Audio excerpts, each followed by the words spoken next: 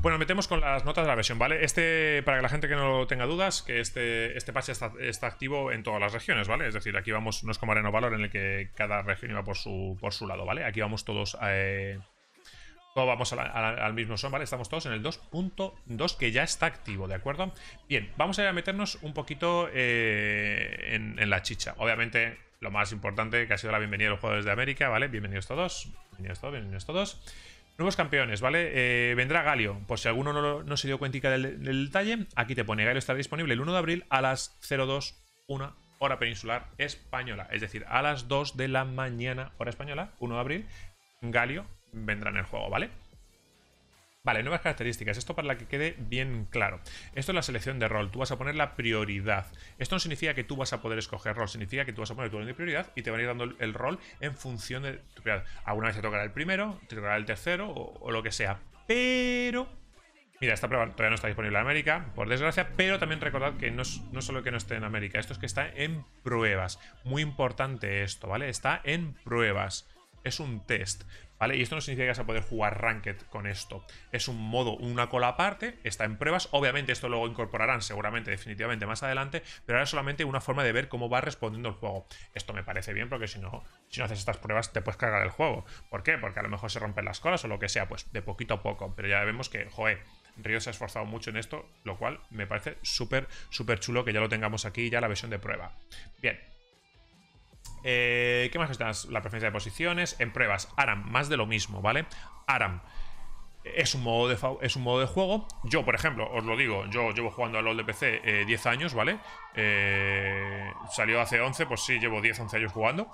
¿Qué es lo que ocurre? este juego, ahora mismo, si tú metes un modo, hay que ver también cómo funciona. No tiene balanceo todavía de, objetos eh, específicos para ARAM. Es un modo de juego aparte totalmente. Entonces, obviamente, lo van a meter también en pruebas para ver cómo funciona, para ver cómo eh, demás. También os digo una cosa y me gusta mucho. Os recomiendo mucho este modo si queréis practicar teamfights y cosas de esas. ¿eh? O sea, no es fuera broma. me parece muy interesante para poder hacer cositas de este estilo. Entonces, bueno, yo, por ejemplo, en League of Legends de PC solo juego ARAM. Yo juego, con, yo juego con mis amigos y solo juego ARAM. Entonces, realmente me parece muy detenido. Me parece una pasada de modo y me parece, y me parece muy interesante que se pueda. Que se pueda tener ya. Joder, han pasado tres meses y lo tenemos ya aquí. O sea, me parece una auténtica locura, ¿no? Pero bueno, también está en pruebas, ¿vale? Van a ver cómo tal funciona y poquito a poquito para ver si se puede implementar bien la cola. Eh, la temporada 2, ¿vale? De la clasificatoria, si os dais cuenta, va a comenzar el 2 de abril a las 8, hora peninsular, ¿vale? Ahí lo tenemos claro, la skin. Pase salvaje. Esto me parece una locura, me parece espectacular. Es decir, meten pase de batalla. Lo van a llamar así. Pase salvaje. Pues pase de batalla al canto. Me parece una auténtica locura. ¿Vale? Fijaos, la versión 2.2 lo trae consigo. Obviamente está por activar, todavía no está activado en el juego. Pero tendremos, si os dais cuenta aquí te pones recompensas nuevas eh, y cuando alcanzas el, nivel final, el nivel 50, pues te dan esta skin exclusiva que es una chulada, ¿no? El Jax este es una chulada. Es verdad que el campeón no está demasiado fuerte, pero bueno, oye, eh, es una skin bastante chula. Y luego dice, a partir del nivel 50 podéis conseguir además más recompensas, o sea que más chulo todavía. Bien.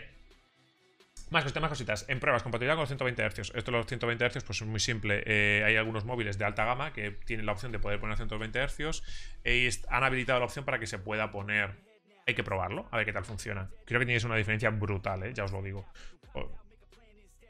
Vale, vamos con la chicha, vamos con los objetos y vamos con los aspectos. Bueno, los aspectos son los que van a venir, ¿vale? Obviamente hay muchos que, conoceréis, bueno, aquí están las skins, ¿vale? No voy a parar mucho en esto, vamos a pararnos en lo que interesa. El contenido, Fijaos, aquí, de hecho, este emoticono es una skin que está muy chulo y me gusta, ¿vale? Eh, me gusta mucho, es la del Corgi Corgi, que es el, perrete que enseña el culo. Eh, de hecho, en el PC, si tú acercas el botón de danzar con, el, con esta skin, el perro se da la vuelta y mueve el culo como en plan de toma, para ti. Me parece muy gracioso. Lo he probado y no sube, sí, efectivamente a Tonahue. Eso, por ejemplo, también le pasó a Yananava y es la historia, ¿no? Es decir, eh, todavía tienen que. Imagino que tendrán que activarlo todavía. Pensad una cosa, pensad que el juego está disponible, pero la fecha oficial. ¿Qué Arthur? Eh, la fecha oficial está fijada para eh, el día de hoy. Es decir, lo que es la implementación del parche como tal. Es decir, la, fecha oficial de salida es el parche hoy, ¿vale? Entonces, se puede, estáis jugando en el juego, pero Todavía falta que metan todo lo gordo, ¿vale? Igual que el pase salvaje y todas esas cosas, ¿vale? Eh, entonces, imagino que hoy, en el día de hoy, ¿vale? Pues se implementará todo ya. Es lo que yo creo, ¿vale? Es lo que yo espero. Bien, tenemos los iconitos, eh, vale, vais, a ver que hay mucho más contenido, pues eso, los iconos, emoticonos, borde de iconos, retiradas, baratijas, emblemas, en fin, un montón de chucherías que me gustan mucho.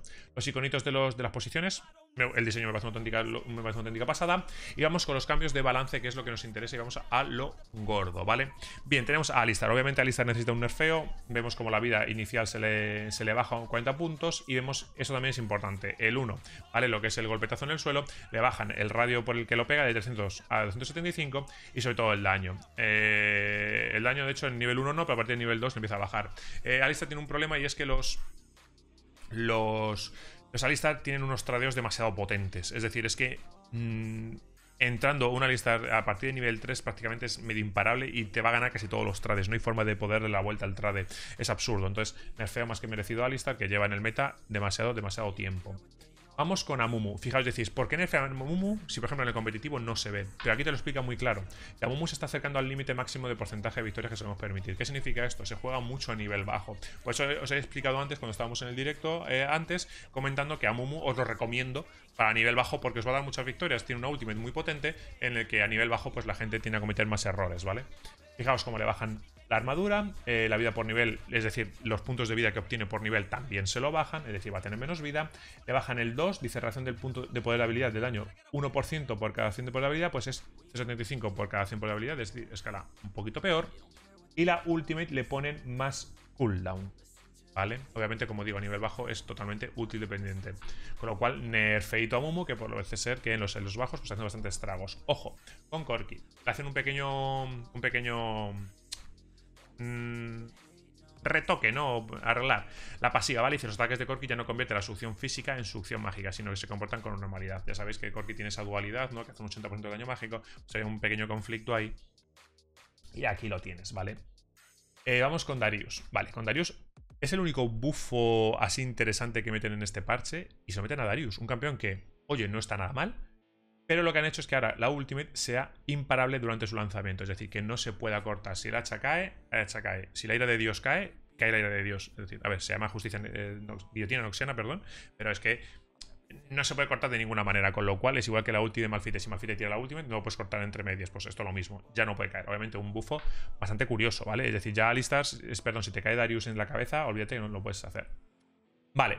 Mundo. Ojo al nerfeito de mundo. Pensad una cosa. Pensad que todos estos nerf a los tanques también viene determinados por la inclusión de los objetos nuevos. Entonces, están compensando de tal manera que algunos ítems, como van a ayudarles a los, a los tanques, pues quieren bajarle un poquito a aquellos tanques que son un poquito potentes. En este caso, por ejemplo, Mundo en la jungla, es verdad que tiene un buen daño en early y es potente.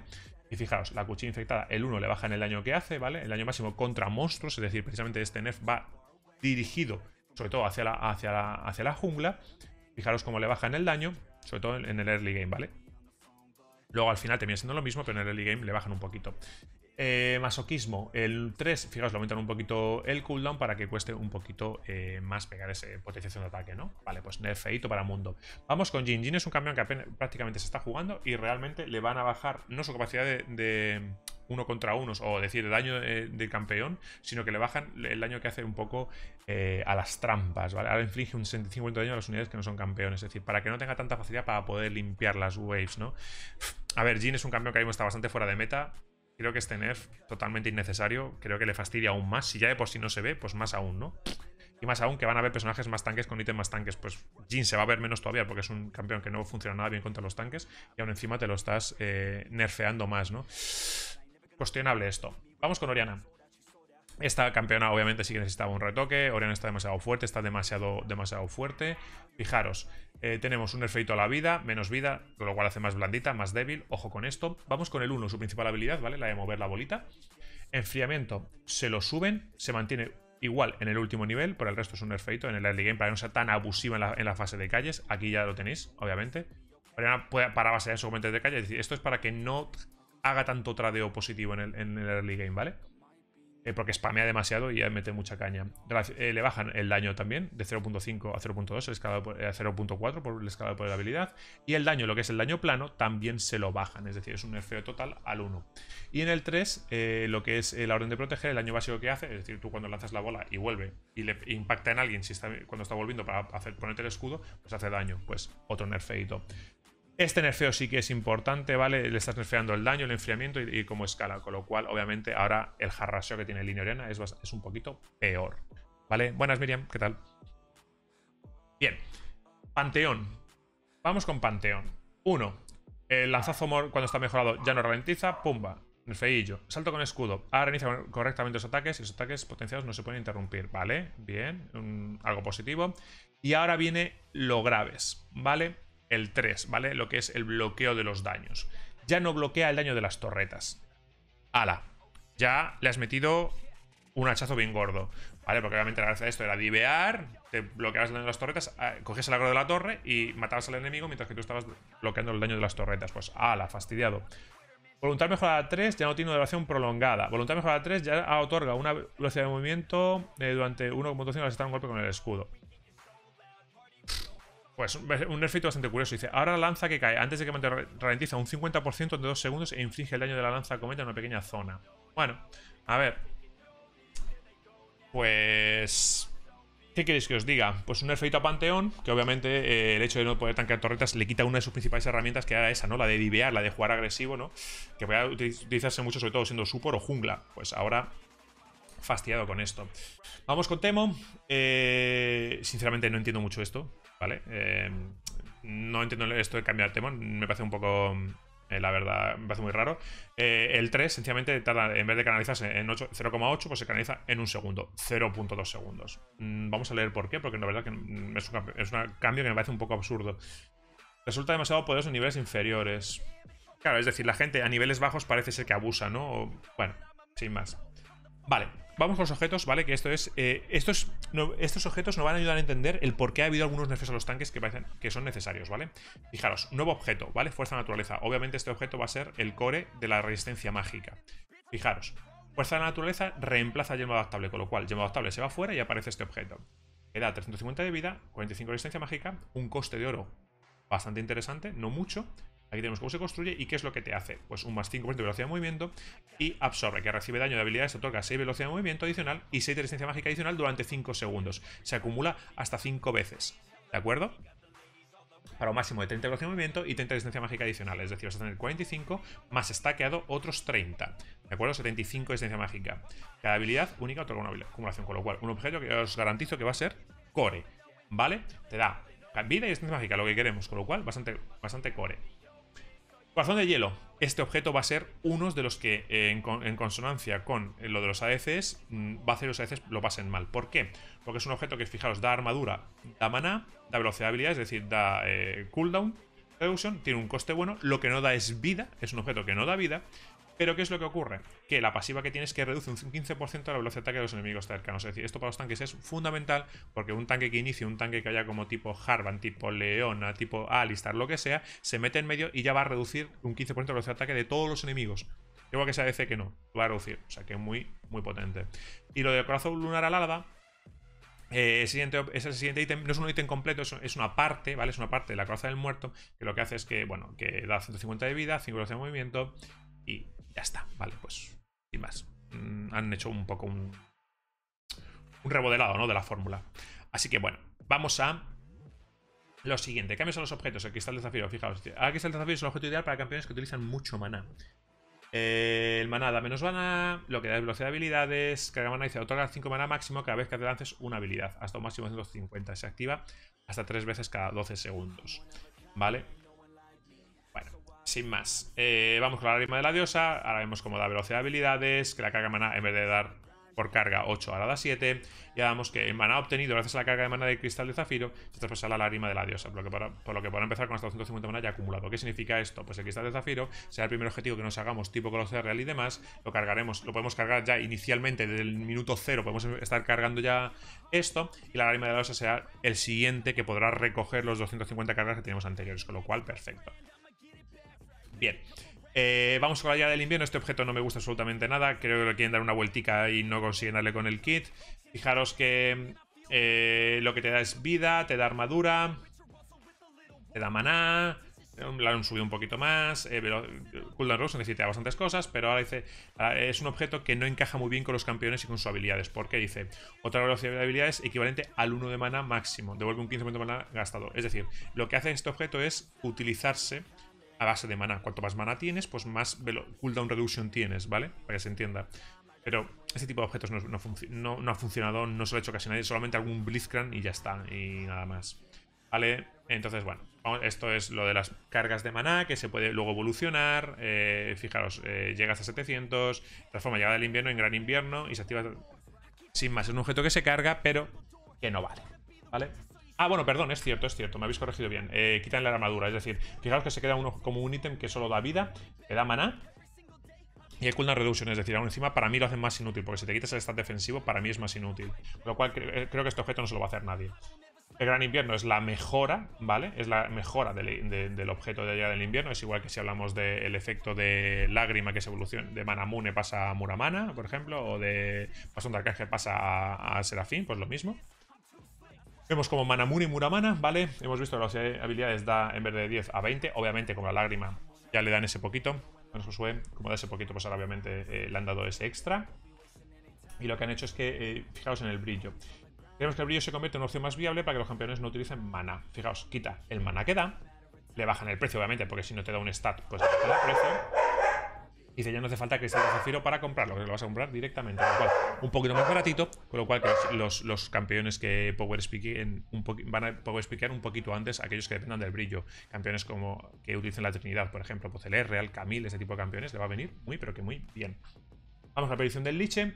Eh, le bajan el eh, quitan el mana y le bajan un poco el precio en base a ello, ¿vale? Su receta ahora es brillo le cambian la receta, ¿vale? Si os dais cuenta, están quitando un poco esos manás, ¿no? De, las recetas. Eh, la frase de Trinidad ya no da mana. Ya sabéis, obviamente, porque le has quitado el mana al brillo y a todos los objetos que se construyen con brillo, pues obviamente tienen este cambio, ¿vale? La Trinidad también, guantelete de hielo, más de lo mismo.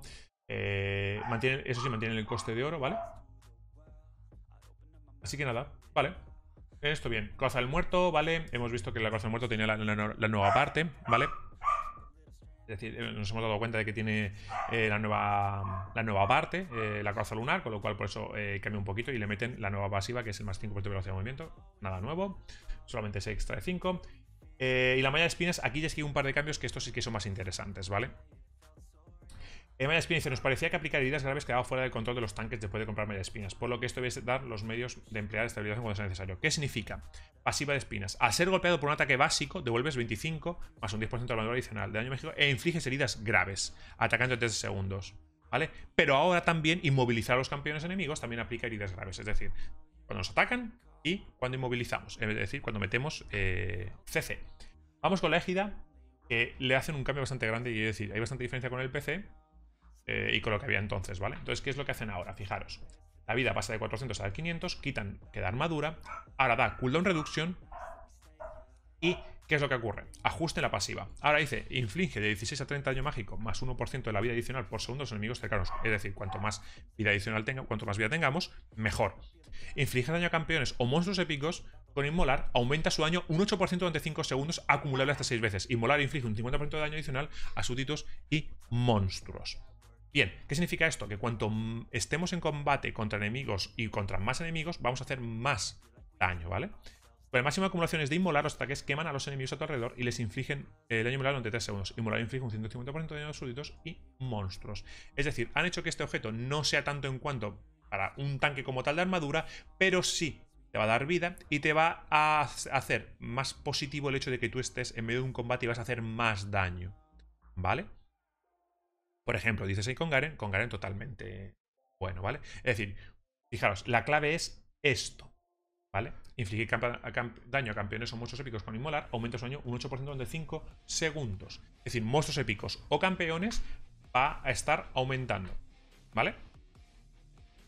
Bien, tenemos aquí cambios en la receta, eh, de tal, perdón, no es cambiar la receta, sino simplemente suben el, precio al regateo letal, eh, da 5 más de armadura y la Warmog da 50 más de vida. El llamado adaptable ya hemos dicho antes que se va para afuera. Y vamos, este es el cambio de los que hablamos antes de los ADCs, sistema de velocidad de ataque. ¿Qué es lo que ocurre? Aquí dice, vamos a ver, dice la relación de efecto de la velocidad de ataque sobre el tiempo de preparación de los ataques de 50%. Esto es sobre todo haciendo referencia al kiteo, la capacidad que, tú tienes que, con los dedos de poder hacer la animación de ataque, hacer ataque y volver a repetir y volver a repetir de tal manera que lo que hacen es que sea así. Te das cuenta, aquí te dan la fórmula. Esto hay que tener mucho cuidado porque obviamente los campeones que van a ser más afectados, aquí te lo ponen, son los AD carries y sobre todo los AD carries que se basan en el ataque speed, ¿vale? Con lo cual es, como digo, algo bastante grave, ¿vale? Es decir, algo que veremos a ver entre esto, los objetos nuevos de tanque y demás, hay que ver como que los veces más los asesinos que están por venir. Ojo con esto porque los veces lo van a pasar mal. Hechizos invocador, hay un par de cambios, vemos en el fantasmal, lo van a hacer un poquito más como el LOL de PC, ¿vale? Ahora en vez de durar 6 segundos pasa a 8 segundos, eh, reducción de la velocidad máxima del aumento, es decir, no va a tener esa pequeña reducción, va a durar de, 2 eh, segundos a 3 segundos. Dice, al conseguir una eliminación, la duración de la mejora aumenta en 6 segundos y se vuelve a aplicar el aumento de velocidad. Es decir, si conseguimos una kill, eh, una eliminación, perdón, eh, mientras está el efecto, pues se aumenta otros 6 segundos más y se vuelve a aplicar el aumento de velocidad que, que sube, ¿vale? Vamos con el prender. Vamos a reducir el alcance del lanzamiento de prender pues pasa de 7 a 5.5. A ver, el prender se tiraba desde muy lejos. Yo cuando empecé a jugar a Wild Rift notaba que era demasiado lejos. El prender llegaba demasiado lejos, ¿no? Entonces me parecía muy raro. Pero bueno. Vale, han añadido algunos, algunos pins, lo cual me parece una tota-, total, chulada, ¿vale? Esto me parece súper, súper, súper, súper útil. Fijaos, hemos añadido tres nuevas alertas. El enemigo tiene visión aquí, que es el ojete. La alerta agrupaos y el enemigo desaparecido, lo cual me parece súper útil y me parece muy básico tener este tipo de comunicación, ¿vale? Vale, aquí vamos con lo social. Bueno, esto lo saltamos. Los gráficos, aquí vamos de los FPS. Vamos a zona muerta este momento, tutorial de nuevos jugadores, miscelánea. Vale, para aquellos que juguéis en tablet, último apunte que estaba aquí un poco escondido, pero esto tened mucho cuidado porque es súper importante. Hemos aumentado la altura de la cámara en algunas tablets. Los que juegan en tablet van a tener más eh, altura. Y esto, gente, ha sido el parche 2.2 en esencia, que la verdad es un pedazo de parche con cosas más o menos cuestionables.